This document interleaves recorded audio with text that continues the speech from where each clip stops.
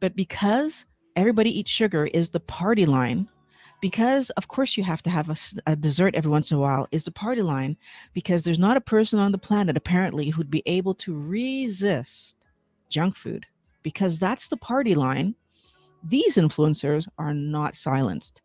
And their channels are still on instagram still on tiktok and yes i found some of these people on youtube. All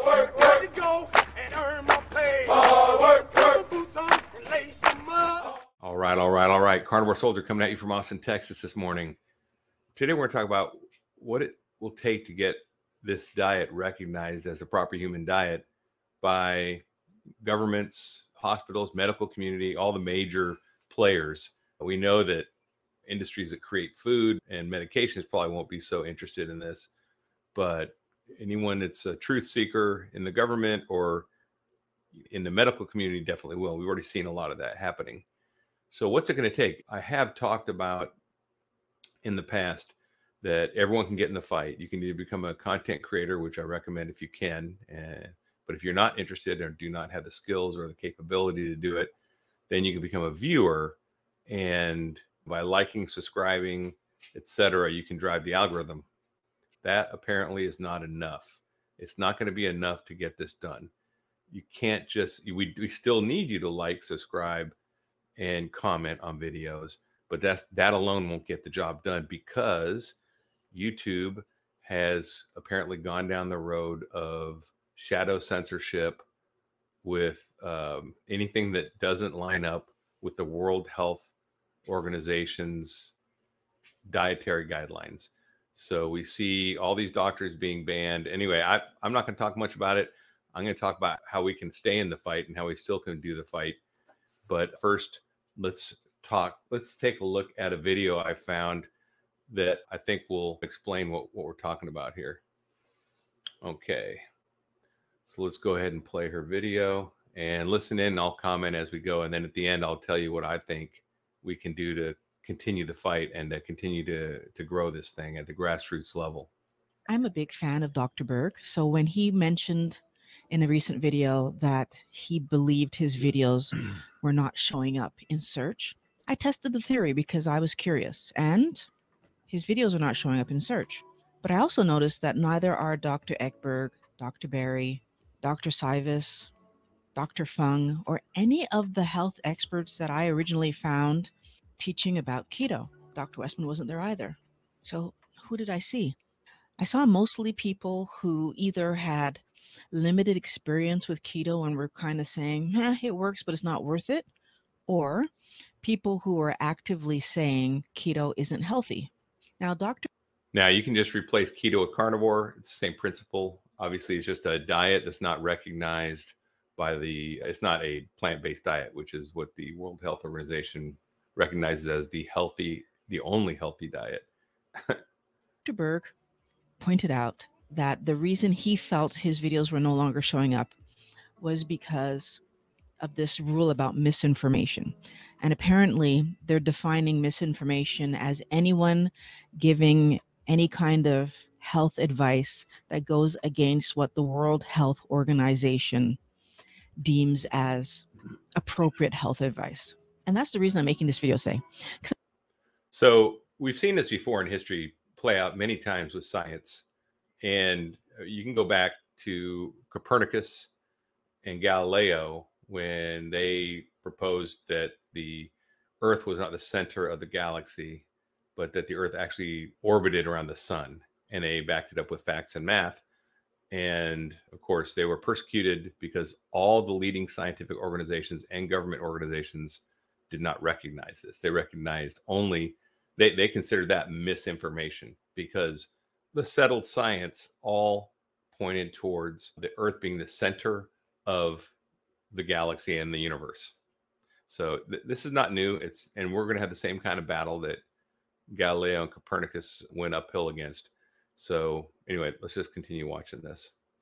So I want to talk about my frustration that channels are being marginalized because we're talking about how we were able to do keto and lose large amounts of weight. We were able to do keto and solve medical issues. and even channels that are from doctors that are talking about the amazing results that they see in their clinical practice, amazing results that they're seeing in the research that they're reading about and they're sharing it with us, that these doctors are also being marginalized because they're not supporting what the World Health Organization says is a proper diet. Dr. Berg is tapping into something that I think is even bigger than what he spoke about.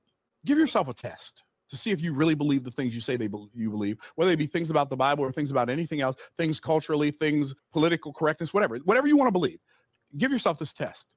Ask yourself this question about the things you claim to believe. Can you believe it by yourself? I don't need you to believe that Jesus is the Savior.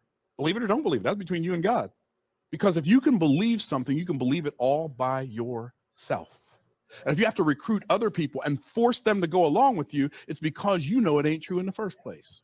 With the recent news that companies have been paying influencers to get online and talk to us about how safe it is to have aspartame in our diet and that the World Health Organization and and the people talking about what the World Health Organization is talking about, but they're crazy. They're they are fear mongering according to these influencers because safety of aspartame, that's the hashtag that's going around. I want us to understand that the fact that PepsiCo and Coca Cola, who are represented by American Beverage, who is the one who paid these influencers to talk about aspartame safety, the fact that some of these influencers are paid by the Canadian Sugar Institute, of course, who represent Canadian sugar companies, again, something to worry about.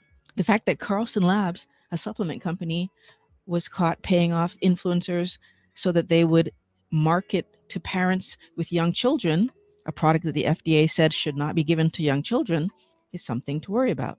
We have It's absolutely factual stuff. So YouTube, because that those paid advertisements or influencers are being paid by those industries to toe the line, it's not uh, banned. It's considered not misinformation that sugar is okay for you and aspartame's healthy. These kind of things that we know, you know, we know that's not necessarily factual. So it's kind of disturbing that those people get a pass because they're not going against the plant-based diet, but anyone that's ketogenic or carnivore is going to take the hit and you're just not going to show up in search even if you all like subscribe and comment on the videos they may not be served up so i'm very thankful that my videos from dante uh, fregno was served up because this had not taken place yet. But who knows how many people out there are not seeing our videos because they they're no longer being served these videos. They're being served other videos. So this is what the conundrum is. Yeah, you do need to like and subscribe. Videos that are liked and subscribed and have comments do better. A video that's got a lot of likes and subscribes be more likely to be watched because it's considered to have valuable content. So that's for sure what you can do.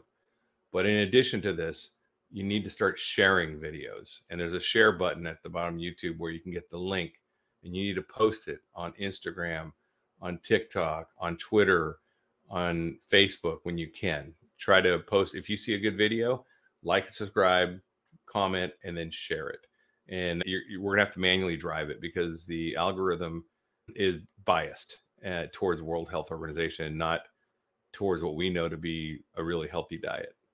Let's keep going with this decades worth of evidence that junk food, first of all, causes weight gain. We have decades worth of evidence that high sugar foods lead to weight gain. I'm talking about junk food again. We have evidence that processed foods, again, junk food, lead to weight gain. Somehow, you know, I'd like to jump in there though. So when she talks about junk food, people consider junk food to be candy bars, that kind of stuff. But really, when you talk about uh, sugars, you can talk about too much fruit as full of sugar. You can talk about protein bars, protein powders, junk. These are junk food because they're man-made processed foods. Almost everything in the middle of the grocery store can be considered junk food, pretty much. You know, be careful uh, when she's talking about junk food. A lot of people just go, "Oh, it's cookies and it's Oreos," and yes, that is junk food, but it extends out to healthy food with hidden sugars, yogurts with hidden sugars. They they hide sugars in everything now. You go to uh, Get a smoothie that's full of sugar. A fruit smoothie, terrible. That's like junk food too. So these junk foods are everywhere. That's why it's so important to look at ingredients and drive your decision making with what you actually read. And if you don't understand what's in a in a product and it's got more than four ingredients, you probably should walk away or do some research before you put that in your mouth. Companies can pay influencers to promote junk food, can to promote high sugar foods, can to promote even aspartame on the heels of the World Health Organization saying it should not be, and we in the keto community are the ones being censored for misinformation. But because everybody eats sugar is the party line, because of course you have to have a, a, dessert every once in a while is the party line because there's not a person on the planet apparently who'd be able to resist junk food because that's the party line. These influencers are not silenced and their channels are still on instagram still on tiktok and yes i found some of these people on youtube. Wellness warrior i want to point out that videos made by doctors made by regular people like myself that talk about how we were able to lose a lot of weight 70 pounds that talk about how we were able to get off medication that talk about how we were able to regulate our, our, our health issues with food are seen as misinformation are seen as leading people on the wrong path. Even though we make no money or no extra money by saying our story. The only way that I make anything is because you guys watch my videos. But beyond that, not paid by anybody yet. People who are paid by companies to lie are not being censored. There's a huge discrepancy.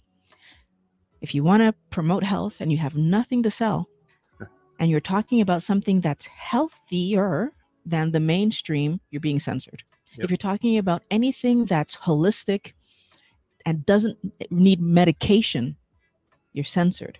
Do we really believe that this is only the World Health Organization that's pushing this agenda?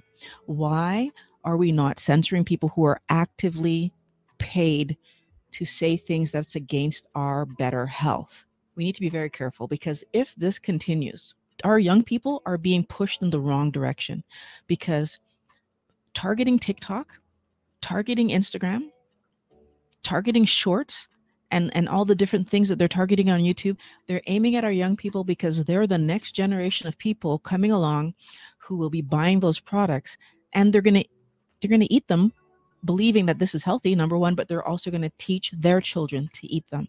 If we don't see that that's what they're doing and intervene, the next generation is going to be even more metabolically damaged than we are. If you agree that the lies that say that sugar and aspartame are harmless need to be stopped, you need to share this video because if you don't. Okay, guys. So there you go. See, share the video. And this is the thing you're going to have to start sharing the video because if you don't, it'll get censored out where it just doesn't show up on search like it should. So sharing videos, you can share this video, you can share other videos definitely do your part. And if you want to get in the fight and you're not going to be a content creator, then support content creators by liking, subscribing, and sharing their videos if they're if they're worthy of sharing. If you think that's a good video and you think other people should see it, share it to friends, family, share it to Facebook groups, Facebook pages, Instagram, TikTok, wherever you can think of. Twitter, Twitter's a great place to share videos and recommend them. You know, say, hey, this is a good video. This is interesting and that's how we're going to drive more people to the message. We're going to have to manually do it. And when she talks about the keto community too, so just to clarify, carnivore is a ketogenic diet. We are part of the keto community. We are a more strict and I think more effective version. After doing both, I've done both diets. The carnivore diet is highly effective, much easier to do than the keto diet as well. It's the simplest form of a ketogenic diet, I believe, out there.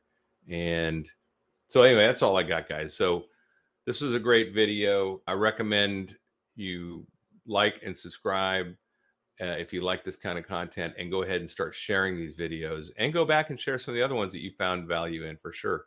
If your friends are asking about how to start a carnivore diet, I have a playlist you can share getting started. If you share some of those video movie reviews I've done, you can share a lot of videos and you just get the stuff out there where people will start coming I don't know if this YouTube thing with the World Health Organization is a permanent situation or not, but in the meantime, we know it is affecting searches. You can just search for carnivore and you don't see any of the doctors pop up. Really, Dr. Saladino, I think, is the only one.